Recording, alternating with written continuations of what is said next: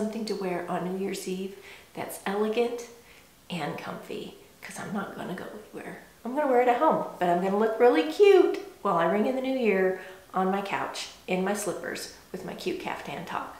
So this is a caftan top and it's really a rectangle that's sewn up. You can see, can you see here? It's just, it's literally a rectangle. This is often made with scarves. You can put two scarves together to make a top like this. This one's short sleeve. The one I'm going to make is going to be longer because it's winter. And I'm going to show you a list back right here. Let me show you something.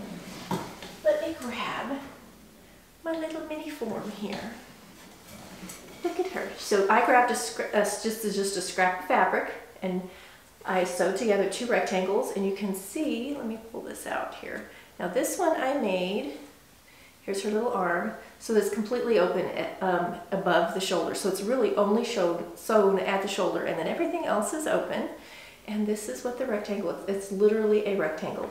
You cut your fabric, now it depends on the width of your fabric. This is wider than it is long, so you can see the length. But this is still mid-hip on the little dress form. It's just open at the neck. Now I didn't do any special seam finishes. This is just serged at the end to make life easy. You could easily roll hem the whole thing and just stitch together your shoulder. Um, sometimes you'll see these where they have um, it's sewn together in a couple places along this the upper sleeve so it's sort of like a cold shoulder so it opens and looks really elegant. Um, you can cut this more circular so instead of having the points down here you can you can um, shape that and make it more of an oval or a circle. So that's, that's it, that's all it is. And I just came and came up the side here and sewed. There is, this is very, very easy. Let me show you the fabric I'm going to use. And then I have to make decisions about how I want my neck finish to be done, what kind of seam finishes I'm going to do. It works best in a very soft drapey sheer fabric. So a chiffon, a georgette, a burnout velvet, something like that. So this is the one I'm going to use today. I, this is out of my scrap pile. I actually ordered fabric for this project and it got delayed and it's still not here. And it's Tuesday and the video's going up tomorrow. So I'm having one of those days where I am sewing, editing, etc the day before the video goes up, which I hate to do. I usually have them a month ahead, but the move and the renovations have gotten me a little behind. So I'm gonna be sewing a lot. This is my pretty fabric though. You can see the width.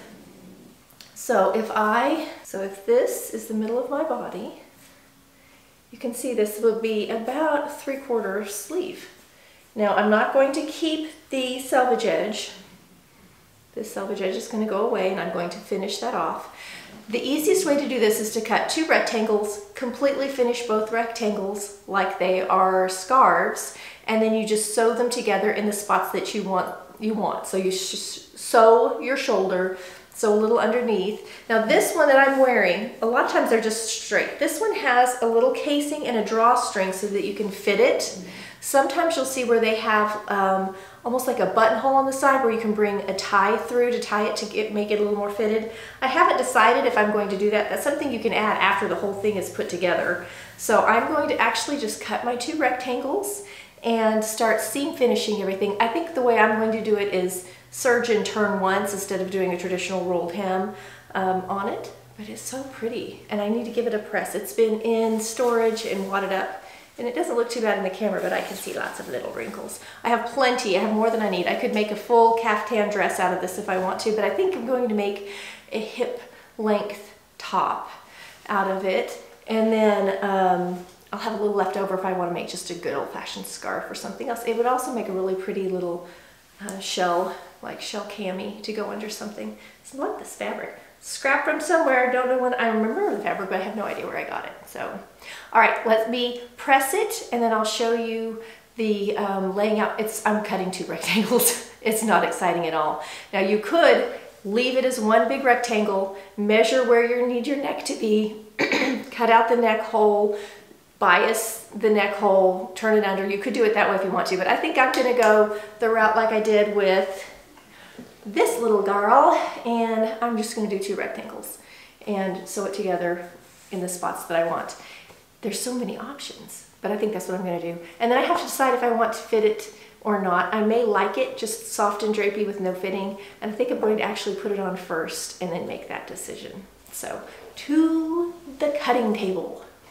I'm gonna stand up and step back so you can see here's the bottom of my, cutting my head off. Here's the bottom of my um, shirt, my little tunic, and you can see how it's just sewn and split up the side. This is very much how I'm going to do it. Just have a little short seam so it splits open.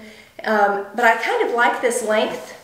It's almost long enough that I could wear a legging with it if I wanted to. So I think I'm gonna go just a tiny bit longer and I might adjust it a little bit so that the back is a little longer than the front because it's just two rectangles so I can I can just drop them. So I'm this one I just measured from the shoulder coming straight down and it is 31 inches finished.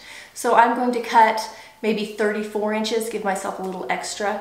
I could also cut one longer than the other. So one, the front could be 34 and the back could be 36 just to give myself a little tail in the back if I wanted because I always need a little extra length in the back. So I'm gonna go cut my rectangles. It's about a yard, two yards. You could easily make this depending on how tall you are. I'm in the sewing room or in my cutting space and I've um, I pulled a thread to cut it so it's perfectly straight. I did not want um, to use the edge that came cut because it was this off. Can you see it was skinny and real wide at one end. I actually started to pull and it pulled straight through. It wasn't enough. I had to come down deeper. So now I have nice straight rectangles. I did cut one two inches longer than the other um, just for the back. So that'll be the difference between the front and the back. And now I'm going to cut off my selvage and serge my rectangle all the way around and hem my rectangle all the way around. And then we'll start putting it together. All right, I've pressed my rectangles and I am now just serging off my selvage edge. This is how it looks. And then this is just gonna get turned back and turned back and stitched like that. Very simple. So I'm going to do that for both rectangles. I'm just going to serge all the way around and finish it off. Okay, this is how it looks as I turn under and stitch. And I'm just going to do this all the way around. I'm starting with the side. So I'm starting, if you look at this one, I'm starting on the side here, and then I'm going to come back and turn under the top and the bottom A few minutes later and I have two scarves. One is two inches longer than the other and I have taken one of them and I just folded it in half um, along what's going to be the top edge. If you're doing this on a fabric like this, sometimes the fabric is directional. So pay attention. You don't want to end up with like the front upside down. So you just watch your uh, pattern. I thought this one was directional, but it's not. The flowers flip both directions. Um, so I'm in good shape there. I found my center and put a pin and then I measured out approximately 15 inches total, so about seven and a half on each side. This is going to be sort of like a boat neck. It's just going to be real open like this. And I'm going to line up both pieces on top of each other so that uh, my neckline is lined up. I just want to make sure my head will go through and then I'm going to stitch together on the shoulder. And I haven't decided how much of the shoulder, this is all the shoulder there is, so I think I'm going to do the whole thing. And all I'm doing is butting it up against each other and I'm going to zigzag it um, to each other. It's not going to be very noticeable. It kind of will disappear, but I'm going, I'll show you a close-up at the sewing machine of what that looks like. So I'm going to do my shoulder first and then I'm going to come back and under the arm, we're just gonna do a straight stitch like this about how long I want my side seam. I don't want a super long side seam. I want it to be able to split open at the side at the bottom. So uh, just a little short side seam and that's it. It's done. So let me show you how I make my little shoulder seam real quick and then I'll show you the side seam. And then we're gonna try it on and see if I wanna do any other zhuzhing up. This is something that's very easy to add to and if I had it, I would have done it put like a beautiful satin band along the sleeve or along the bottom. Like you can you can do uh, so many interesting things. Look at this one. This one has, um, it's all embroidered, all embroidered around it and on the hem too. So you can make it as plain or as um, fancy as you want. It's up to you. And I have another one, a white one that I can't find that I love that has little tassels down in the corners that's really cute too. So you got lots of options. Um, for something super simple, you can really make this personal and decorate it up. Okay, to the sewing machine, to zigzag. Just a little quick close-up. I just did a little tack to uh, hold the two pieces together. This is uh, where I had pinned. I have another pin back here. This is the other shoulder where I will start. And I just have them butted up against each other and we're just doing a zigzag. Now normally I do not like a zigzag to show. And this could have been straight stitched and then you could have come back and top stitched later, but this is how I'm going to do it this go round. And that's what it looks like back there. Again, you don't have to do it this way. You can choose to do it. You could have sewn this together first, then press this open and top stitched each row, which would have looked great. You wouldn't see any of this, but I'm treating this like two scarves. So if you buy two scarves and you're gonna make a shirt, this is the easy way to do it. You could also slightly overlap and top stitch it, so you have a third row of top stitching. Lots of options. Now I can do this where I have a little stitch here and I leave it open and have another stitch and so that it's um, kind of gives you the cold shoulder effect if you want it, but I'm just gonna stitch mine shut, I think.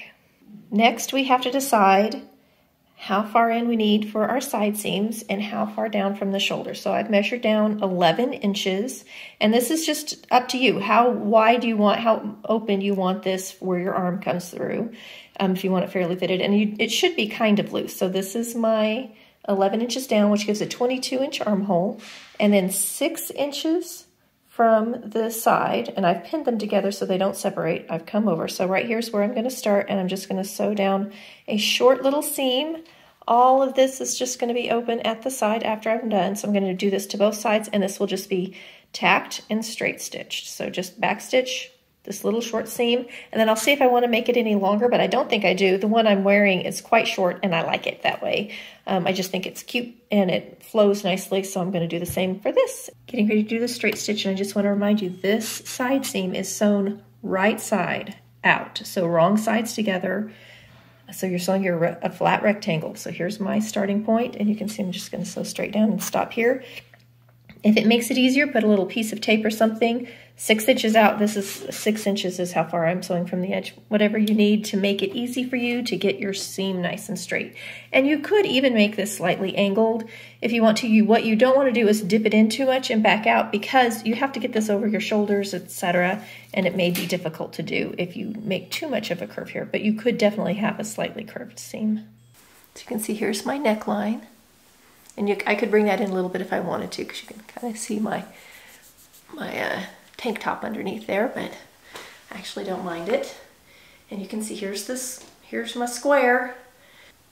This is it. Talk about simple and easy. Now, the one I was wearing has a little um, band on the inside and a, and a drawstring so you can pull it in and cinch it, which I do like. I, I kind of tend to like a fitted of a silhouette than this. This does not have much silhouette, but boy, talk about easy and comfy and throw it on and could easily wear a long sleeve or a turtleneck under this. Um, or I have a tank top on right now. Isn't that cute? Very, very, very, very, very, very easy, fast little project. I would, I have fabric I ordered that's a knit to do this in again, so I definitely will do another simple top like this. I might do one that's more of a circle or might be more fitted, might have some shearing. I have a couple fabrics coming that didn't arrive in time for this project today, but this is it. And I did make it a little longer the back, just a couple of inches. And you can see here's my little side slit. Okay, this is, I think it's like 10.30 in the morning, so about an hour. Is how long it took me to do this. It might take you longer.